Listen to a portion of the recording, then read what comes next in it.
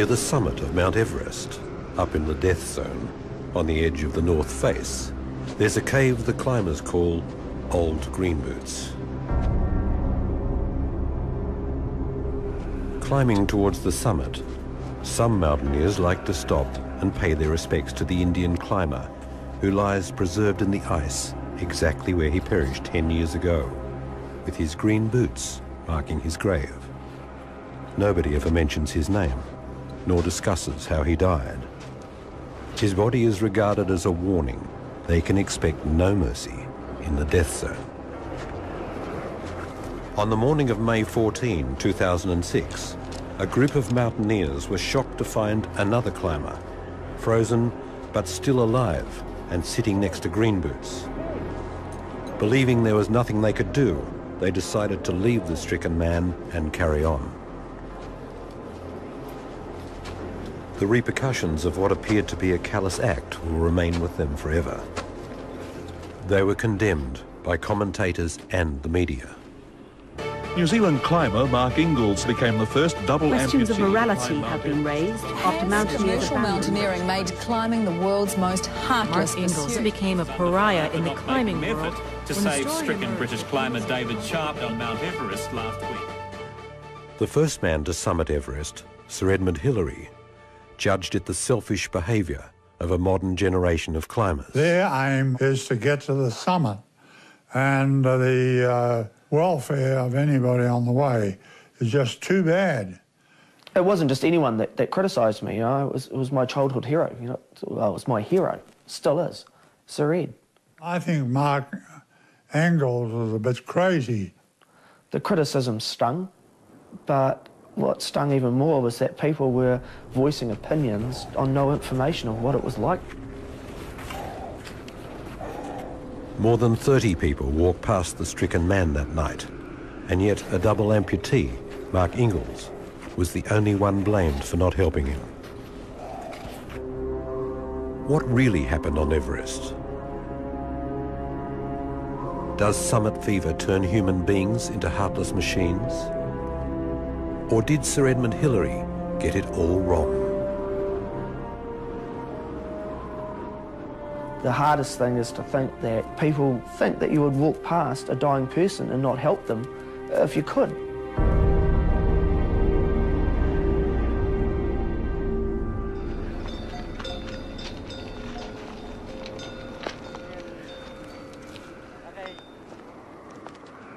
The 2006 season was shaping up to be one of the best on record. Hundreds of mountaineers, hoping to reach the summit by way of the northeast ridge, were encouraged by forecasts of good weather and perfect conditions. They were anticipating the moment when they would join the ranks of elite mountaineers who had stood on the roof of the world.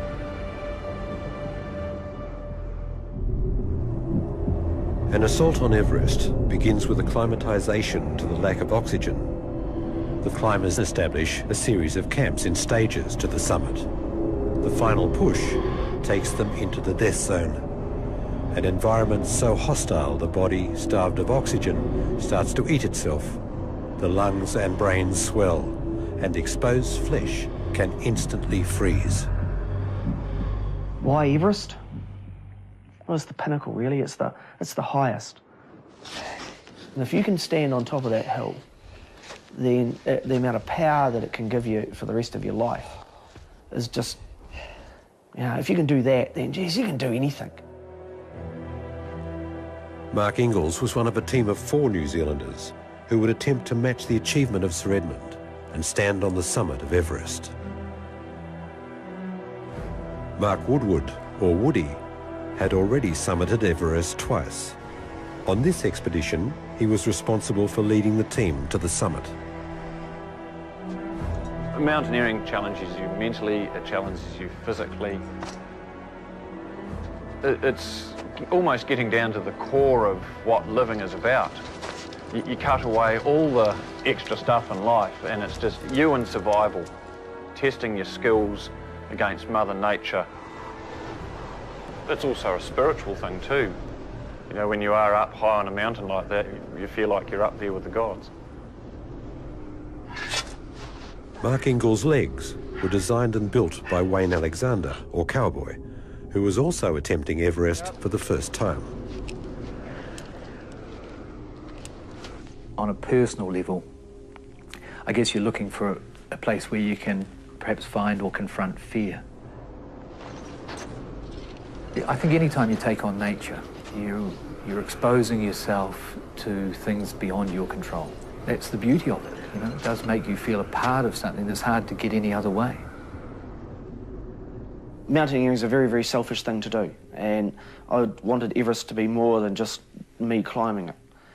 And so what I wanted to do was to raise money for the Cambodia Trust, a group who I work with in Cambodia with the landmine, the polio victims, 100,000 amputees or more. What we did was we raised almost $80,000. $80,000 buys an awful lot of legs. Mark Whetu had been to the summit of Everest four times and shared a special bond with Inglis. We've both sustained frostbite through climbing. Stumpy and Gimpy sort of came from somewhere between Inglis and myself. I, I can't quite remember where that came from, but yeah, he's Stumpy, I'm Gimpy. Well, I guess Stumpy is because of the fact he's got two stumps and I'm, I'm the Gimp because I've only lost my toes. Whetu was working as a cameraman for Russell Brice, who operates one of the biggest and most expensive expedition companies on Everest. People come here to Everest and uh, they spend a huge amount of time, money and effort to be here and, and they often throw caution to the wind. Um, and it's partly my job to try and keep these people cautious so they don't make false judgments. There's a lot of debate on, on, how much you pay when you go to Everest. You know, some people pay very little. I think the minimum you can pay is about uh, eight and a half thousand US dollars. And then, you know, Russell's one of the most expensive. You know, it cost me 50,000 US dollars. One of those who opted not to spend his money with Russell Brice was Englishman David Sharp. He chose a budget expedition with Asian Trekking, who provided little more than the necessary permit for his third attempt on Everest. Sharp's friend, Jamie McGuinness, had been with him on the mountain before. David just wanted to book with anybody who would take him. Asian Trekking had a mix of people who wanted to climb independently. He didn't care what he was getting, all he needed was food at base camp, ABC, the yaks up, the gear up, and uh, then the opportunity to climb by himself. Critically, he didn't have a radio. A lot of people actually like to climb the mountain themselves without any Sherpa support or any, any technology. And I actually support that. I think it's still great to see. However, things do go wrong, and what happened to David Sharp happens every year, every season on Everest. Many of the people who climb Everest, you can call them commercial mountaineers in that they climb with groups. David was a real mountaineer. Sharp had already made an impression with a stylish ascent of the world's sixth highest mountain, Cho Oyu. He was capable of climbing Everest, no doubt.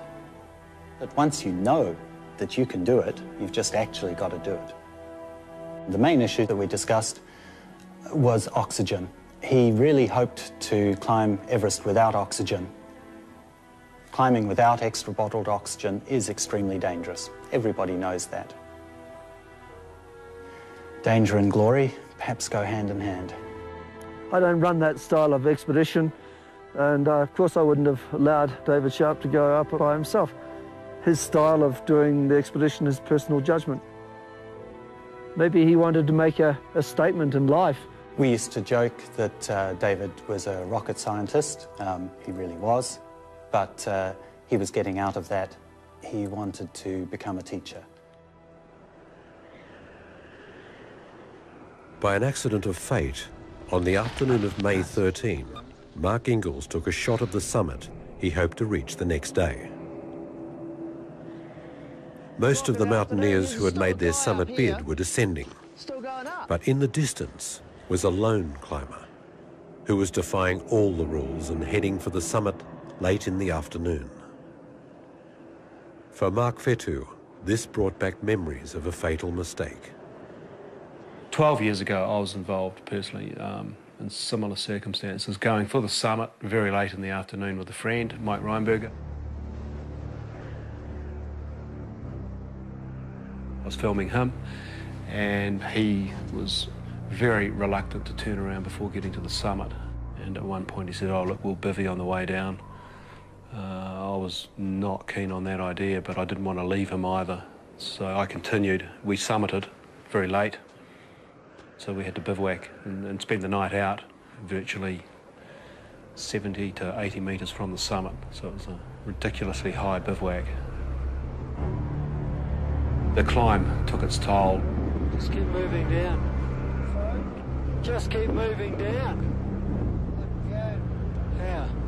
And uh, on the way down, Mike was struggling to stay upright and walk. He was blind, quite serious stages of cerebral edema where you do become blind.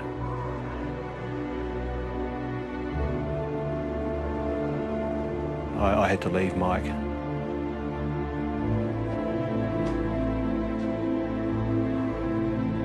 I tried my hardest to help a friend down.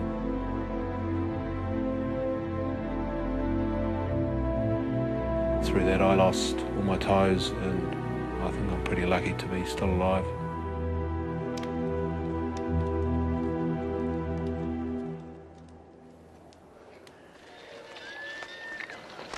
From the beginning of mountaineering history, Everest has had a fearful reputation.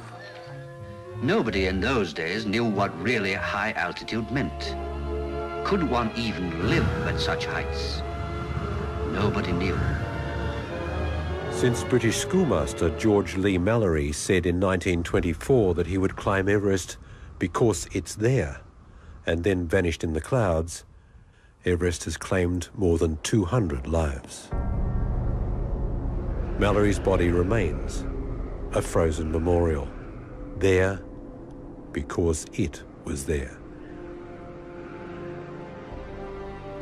It wasn't until 1953, 29 years after Mallory died on his third expedition to Everest, that New Zealander Edmund Hillary and Sherpa Tenzing Norgay reached the summit.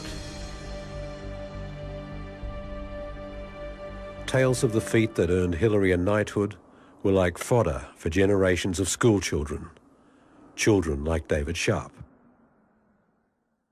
To New Zealand kids like Mark Inglis, Sir Ed was a god, and like him, they desired to attain the highest altar of mountaineers. I guess every Kiwi kid has a dream uh, to be an All Black or to follow in the footsteps of Sir Ed. I was never going to be an All Black, you know, I was a scrawny little runt, you know, but, you know, that made for a good climber, you know, it meant that I could follow in the footsteps of Sir Ed.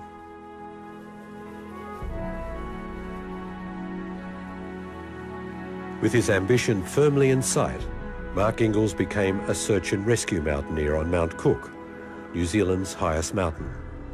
It was climbing there in 1982 that he nearly lost his life. You know, it was a decision that Phil Doole and I made to carry on climbing into a storm and that we thought we'd be able to just sneak down the other side of Mount Cook and, and get out of the wind.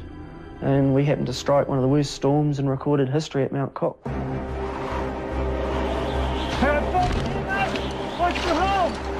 We just stuck into this wee cave near the summit to get out of the wind. And the wind just didn't stop. The wind didn't stop for 13 and a half days. 24 years ago, searchers fought blizzard conditions for two weeks to rescue Mark Inglis from Mount Cook. A helicopter crashed. The crew narrowly escaped with their lives. There's strong winds blowing up through here, but they've got shelter back in behind here. The men named their ice cave Middle Peak Hotel. It was two weeks before they were rescued. Yep, you know, I've been rescued before. I know what it's like. But I also knew why we sat there for 13 and a half days, because it would have put our rescuers' lives at risk to come up and try and get us at any other time. The result of Middle Peak Hotel was uh, some pretty severe frostbite. The whole four foot frozen completely. After a month in hospital, got wheeled into theatre and had both legs amputated about 140 millimetres under the knee. So many people ask about how do you train for Everest, you know? Well, for me, the best training that I ever had was, was Middle Peak Hotel.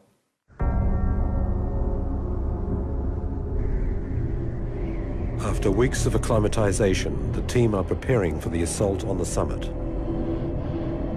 They will leave Camp 4 and spend at least 12 hours in the death zone, battling the blind forces of nature in their attempt to reach the summit and return. The Northeast Ridge route is divided into three waypoints. First step, second step, third step, and then the summit. On the route to the first step, they will also pass Green Boots Cave.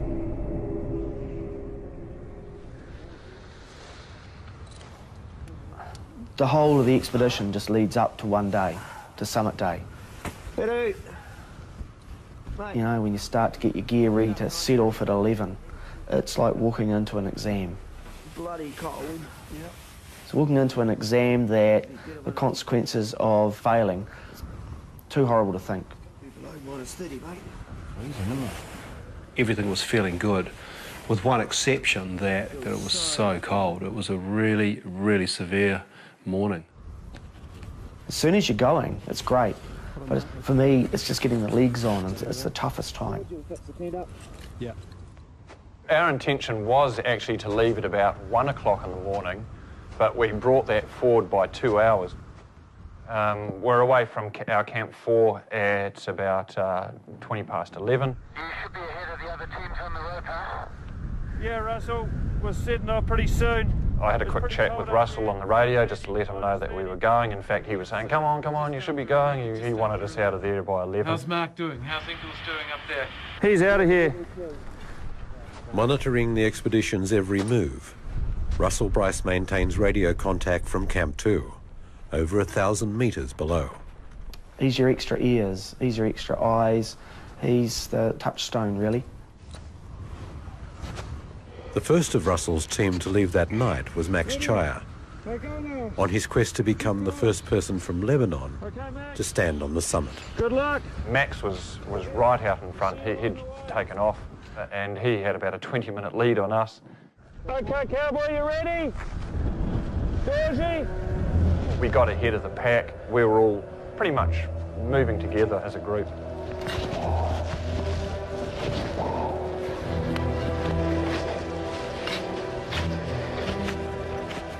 Our biggest problem was that there was a lot of other people keen to be going for the summit that day as well, and it almost becomes a bit of a rush so that you're not going to get caught up in any traffic jams.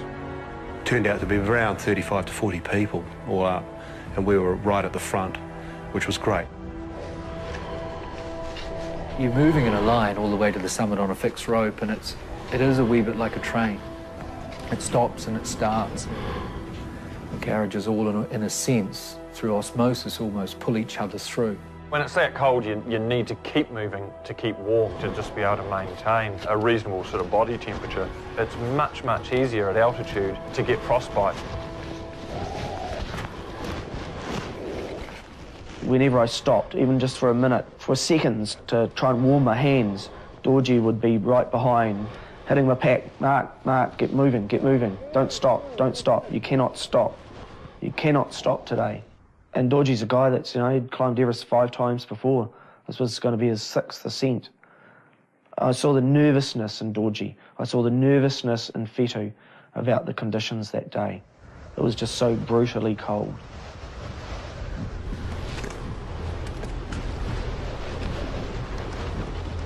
Well, the, the lead up to Green Boots Cave is um, very exposed. You go up what's known as the exit gullies out of Camp 4, and it's, it's relatively steep, angled snow climbing in the dark up fixed right, and that leads you to the summit ridge. And then you go into a series of ledges that you must traverse. And this is on the summit ridge at 8,500 metres. And then you have what's known as the Kangshung face on, on your left, and that drops two or three thousand metres at a fairly extreme angle down to the glacier. And on your right, below your feet, you have the, the whole of the north face of Everest. And that again is dropping down approximately two and a half thousand metres to the valley floor. And a slip or a trip or if you miss clipping a fixed rope, you are going to take what everybody calls as the grand tour, and that's all the way to the bottom. Uh, even in the dark, it's just this big black hole. As you look over into the Kangshung face, it's like, whew, you know, it's, uh, you, you get this sort of sense of evil. It's, um, it's a tough place. In some cases, your feet were completely out over the drop. I mean, I'd worked out a plan that even if both legs broke, you know, I could still walk on my knees, you know? But then, then you start going around some of those traverses, especially into the bottom of the second step. And if you can't walk, there would be no way you could ever get around those. No way on your knees. You could never carry someone around there. There's this incredible focus that if you stuff up up here, no one's going to be able to get you down.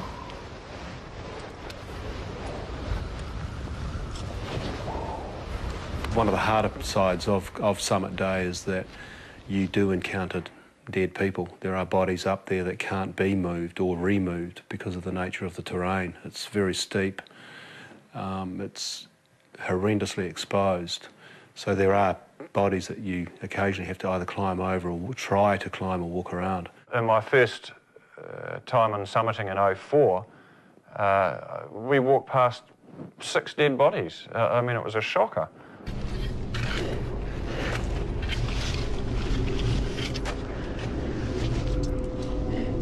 Green Boots is a climber that died in 1996, I think, on the way down. You know, like a lot of people do, on the way down. Like so many of the bodies on the north side of Everest, you know, the minute that you die, you stop being flesh and blood and you become part of the mountain. You know, you can't be moved, you, you adhere to the frozen rock. The, the surprise was seeing that he had company.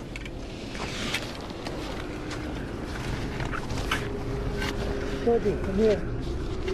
I felt desperately sorry for the, whoever it was in there. You know, the level of frostbite was just was tragic. And then the first thing that came to mind was uh, you were the guy I saw yesterday afternoon high on the summit slope. I just sort of recognised what he must have done. He'd got to the summit late, he was alone, and I figured that most likely coming down he ended up descending in the dark, which of course is dangerous when you're on your own. It's possible that his headlamp batteries had died, and so he stopped up for the night. He found this cave and he crawled in there, and I thought that was a pretty sensible thing to do, considering the circumstances. But it was so cold that uh, I then realised, you know, I mean, he was still alive, he was breathing. I could see breath coming out through the, the front of his jacket. I guess he was waiting to be able to see the way back down to Camp 4. Unfortunately for him, it was the coldest night of the season. Hey! Hey, get moving! It's light, it's all the way back to Camp 4.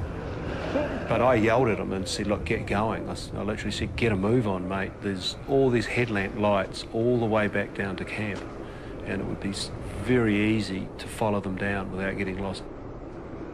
I realised that, well, we don't know who he is. He certainly looked more dead than alive. And my primary responsibility is to the clients and the people that are with me. This is also one o'clock in the morning. If any rescue was to have happened, it, it wouldn't have happened till daytime. It's a horrible thing to have to just walk past, but that's the reality of it. And uh, this was a big shock to Cowboy. He'd, he'd never seen, uh, you know, dead bodies and or somebody in this sort of a predicament. Coming across someone stricken, no, incredibly, incredibly sort of whipped away by the, the harshness of the environment. It was incredibly uncomfortable. It was, it was horrible. It's the worst thing I've seen in my life. I became transfixed. Then um, there was movement just a small movement of the head, but in something that's lifeless, seemingly lifeless, it's it's a huge movement. It's just because it represents life. this desire to be tactile with someone in such need was drawing me right to him, and to the point where you know, I really wanted to to, to touch and but there's this dignity in, in death that well, makes it hard to, to touch someone.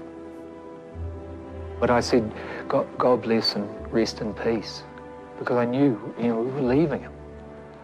That people who knew about these things had seen this before, and, and they're qualified to make that decision. They had made it. We, we were leaving him. We were moving on. Um, and, and, and, and that's what happened.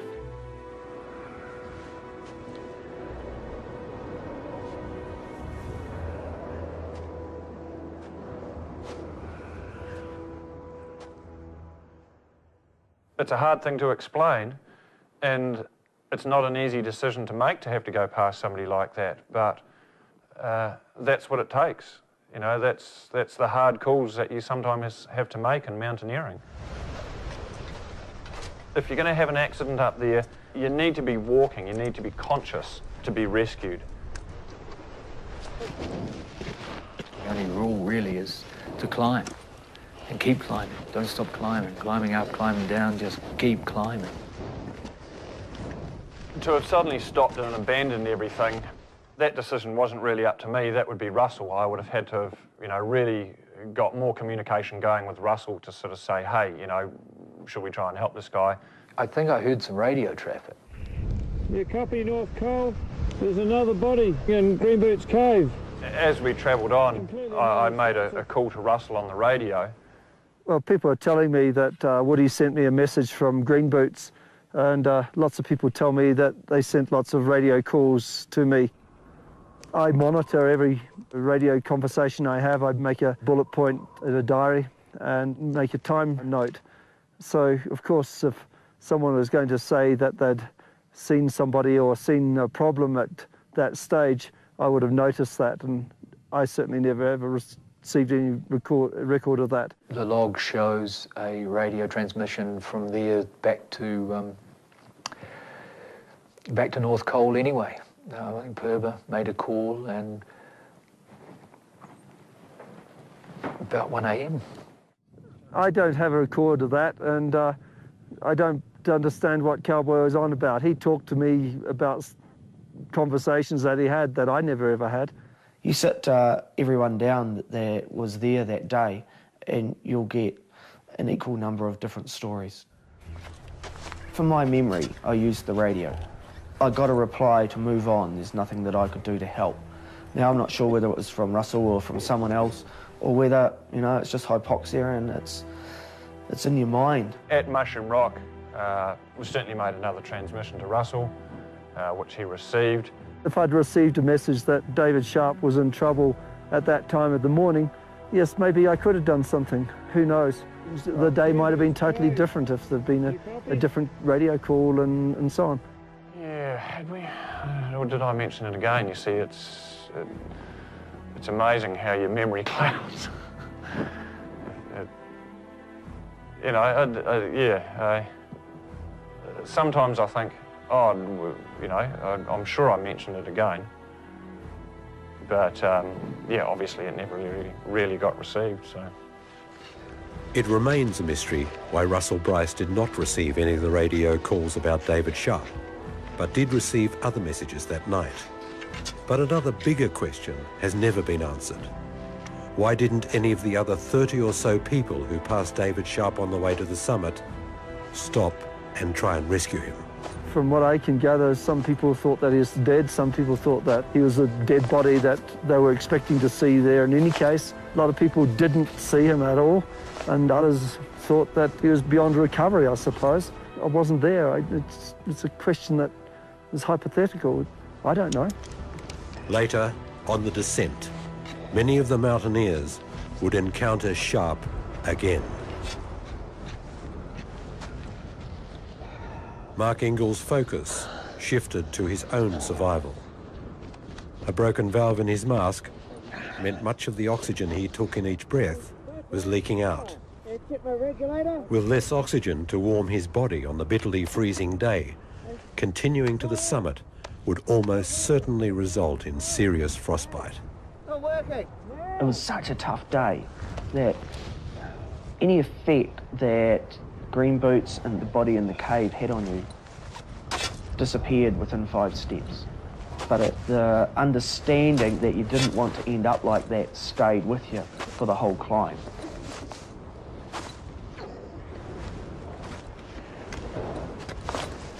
We carry on across round this big traverse into the base of this famous part of the route is this ladder bolted up and held in place to get over what's really considered to be a almost impossible section of rock to try to climb at that altitude.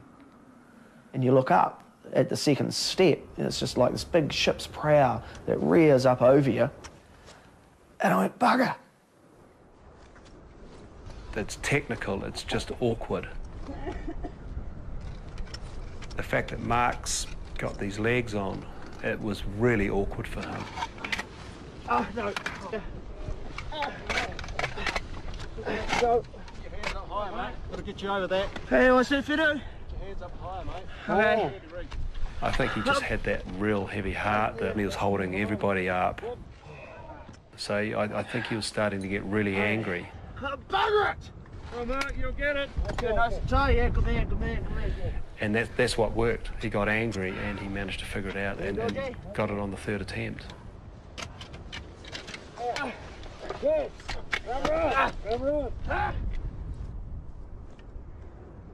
As you're climbing the ladder and you step right out, and you, there is absolutely nothing under your feet. You're looking straight down, you know, two and a half, three thousand metres straight down the north face of Everest. You know, the consequences of falling off the ladder just don't bear thinking about. You know, there's been a lot of people that have died around there. In fact, you know, what they call it Rainbow Valley. There's the slopes down beneath the second step because you can see the different coloured down from all the bodies that it, the people that have fallen from there.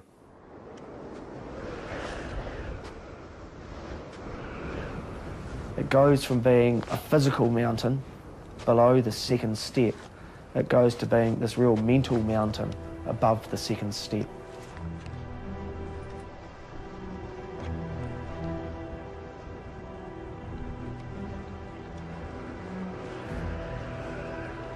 It's just so slow, you know, you're only 100 metres vertical from the summit of Everest, but you know it's going to take you a couple of hours.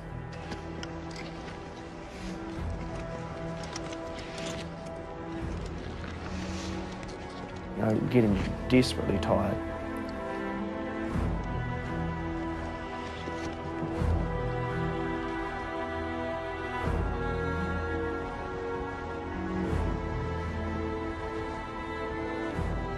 It's daylight now. You're still looking down at your feet, but it's not the big black hole anymore. It's all the way down to the Rongbuk, you know. It's uh, all the way down the north face.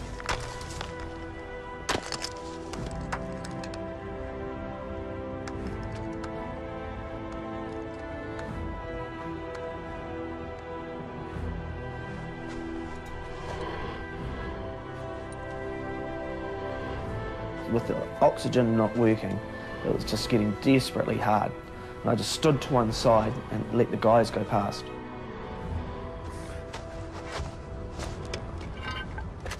Inglis's situation was now critical. Lack of oxygen was affecting his decision making. With only a few hours left in his tank to get to the summit and back, he had to ignore extreme pain from his stumps as ambition drove him forward.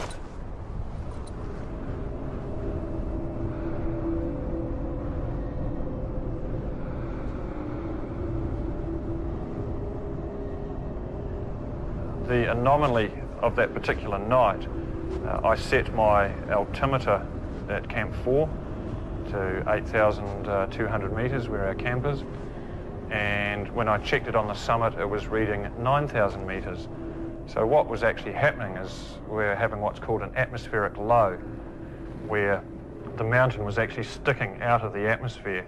So uh, space had come down to meet us, and that's why it was so horrendously cold.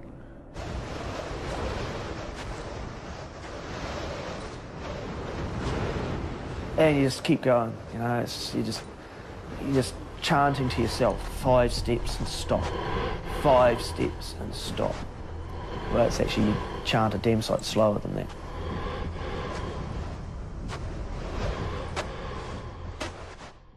And then all of a sudden, there's absolutely nothing in front of you. You know, how do you know you're on the top of the world? You don't have this revelation of a summit. There's just nothing in front of you.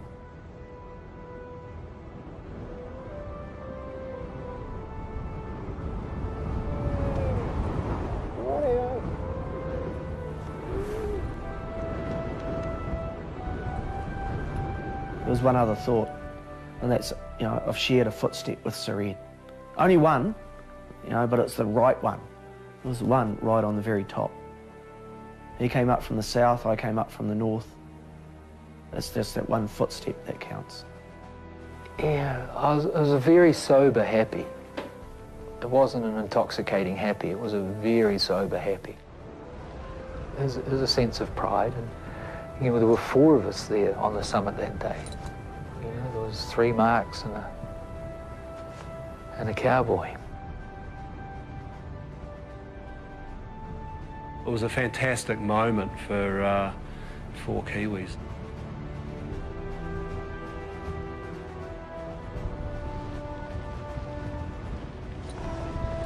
With most of his oxygen depleted and his fingers frostbitten, the critical challenge now was descent. And it's during the descent that most of the fatal mistakes occur. For me, especially, climbing down's much, much harder than climbing up. And as soon as I started moving down, I knew this was going to be a very long day. You could feel that you were doing a bit of damage.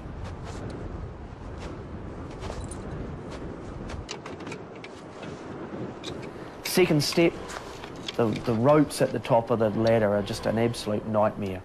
Was just so focused on not getting a crampon caught in it.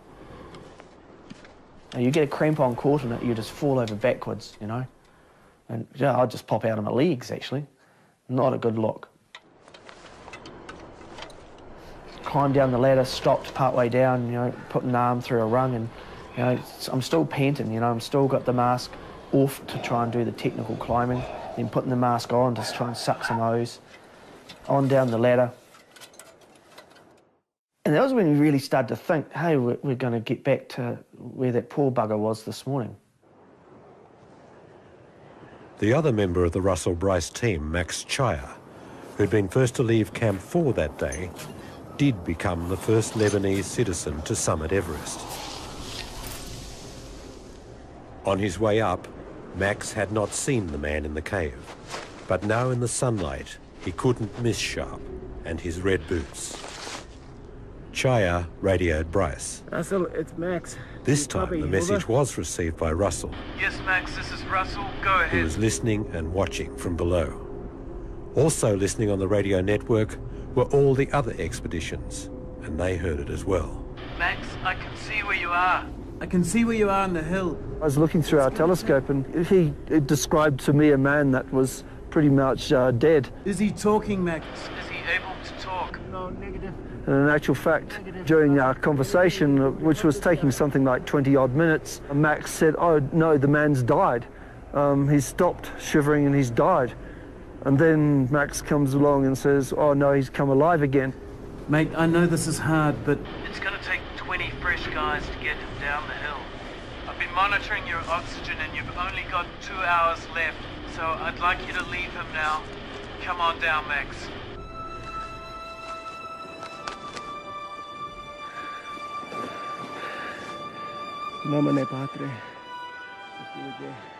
I couldn't see any help readily available on the entire mountain. I had heard Russell talking to Max and insisting that Max keep going. When I got to the cave where Dave Sharp was, um, to me he hadn't moved. And this is now some probably nine hours later, and it, was obvious that he was almost dead.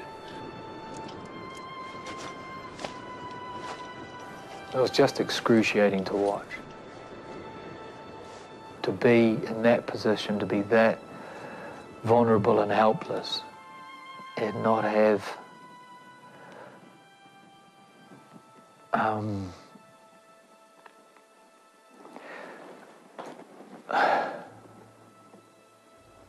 yeah, not not have those, you know, those, not have much of a grip on your life left, much of a grip at all, apart from being almost, I'm not sure, you know, I've just, the same process occurred, you know. I stopped, saw the others coming, and um, I moved on.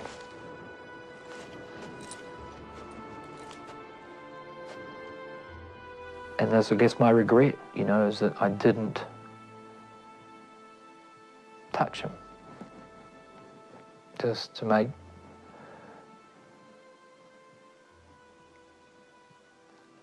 the, the tiniest of tiny differences. Max did what he could. Then some of our other Sherpas did the best that they could. They moved him out into the sun, out of his, out of the, this alcove. Uh, they found some spare oxygen. Th then David did respond. Well, Phurba Tashi is probably the strongest Sherpa on the mountain at the moment, and uh, he is with uh, another Sherpa from the Turkish team. And Phurba Tashi did try to help David Sharp, and uh, it took him about 25 minutes to move four steps uh, before they put him down again. So here's two extremely strong Sherpas going, there's no way we can rescue this man. For a moment, the stricken man recovered enough to talk. In his dying words, he told a Sherpa his name was David Sharp, and he was with Asian Trekking.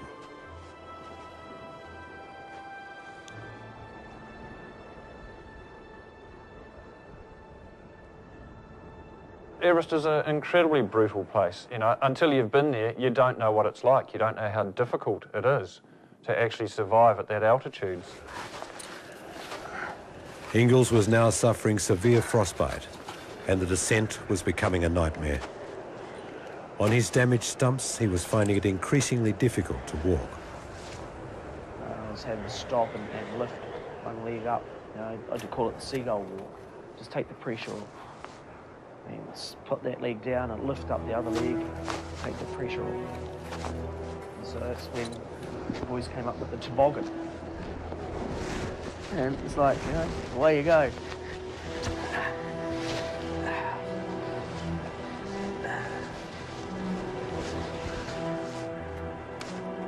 After hours of excruciating pain, Inglis could go no further. And with only 200 metres to camp, the team came to his rescue. The boys picked me up, and before I knew it, I was on Peter's back as he danced down the moraine and into camp. It's why you don't climb alone, so that those around you can address the issues before it's too late. When I got down, I just knew which had been the significant thing for me that day. It wasn't about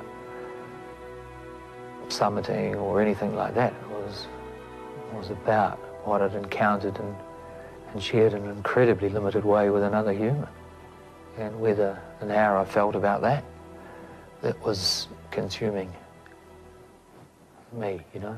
It was actually while we were sitting there waiting at ABC that we found out that the, the guy up on the mountain in Green Boots Cave had died.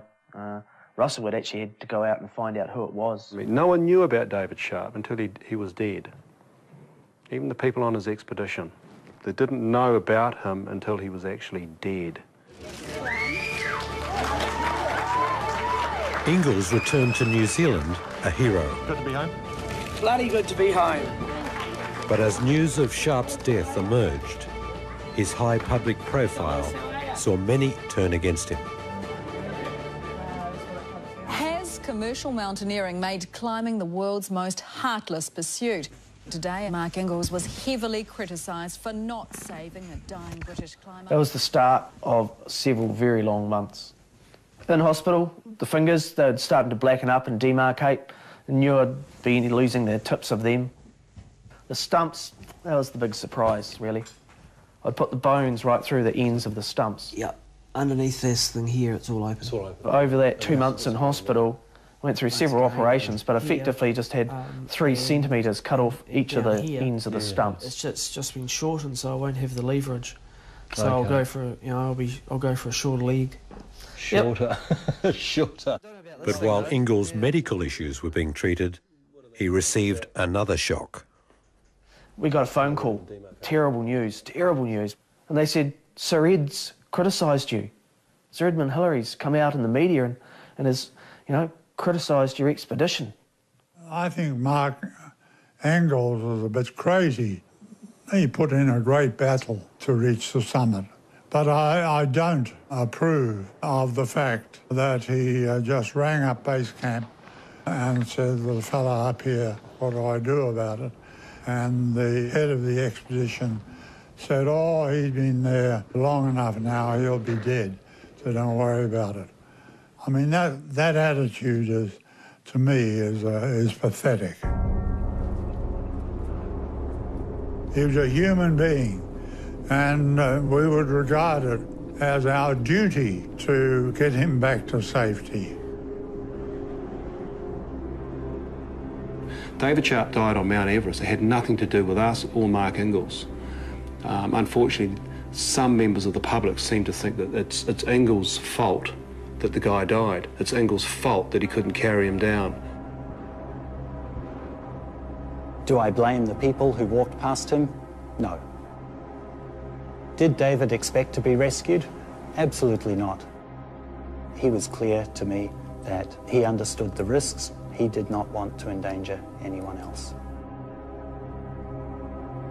I guess another sort of twisted irony of the whole situation is that then a week later, the Australian Lincoln Hall survives the night up there and is brought down. But the major difference is he could walk. He was communicating. He was away with the fairies and had frostbite, but it still took 15 odd Sherpas, lots of oxygen, and 20 odd hours to get him back down. But he could move. Uh, and the night that he spent out was certainly not as cold as the night that uh, we had when we summited. In terms of, you know, this is down the barrel, right? In- In terms of David Sharp dying, one group have not really been represented here, and it's the agents that, let, that took the man's money and let him go to Everest. We've got websites that are scathing about Brice in terms of David Sharp. And yet, what about Asian Trekking? They took the man's money. They said, yep, you can go to Everest. Ask them about their rescue infrastructure. They've got Sherpas. I mean, God, there's Sherpas running, own the company. Of the fatalities and of the rescues that we've carried out over the years, um, Asian trekking have been the majority, uh, have, have caused the majority of these. So um, that's their style of running an expedition, and they obviously get clients to do that.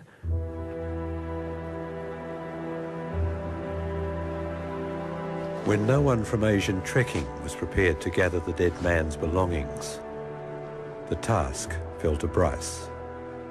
David Sharp's parents have been very understanding about the whole situation, and I've been very open to them about everything I've happened and that happened and how it happened and so on. So they've been quite understanding and, in actual fact, uh, quite annoyed with the, the attention that the media have put onto this uh, because uh, they felt that their son was a, a climber and um, it was unfortunate that he died as a climber. Now, we can't sort of create barriers or walls of cotton wool where we can all go there safely and, and, and, and come home alive. People don't find that challenging enough. Individual people want things to be harder for them because they have a greater sense of achievement when they've attained their goal. I mean, it's a controversial issue and it'll always remain so. Uh, but as I say, that's those are the cold, hard facts of, of life at 8,000 metres. You know, you're, you're in the death zone. Um, shit goes wrong. people die. It's, it's a graveyard up there and it's really difficult uh, to be able to do anything about it.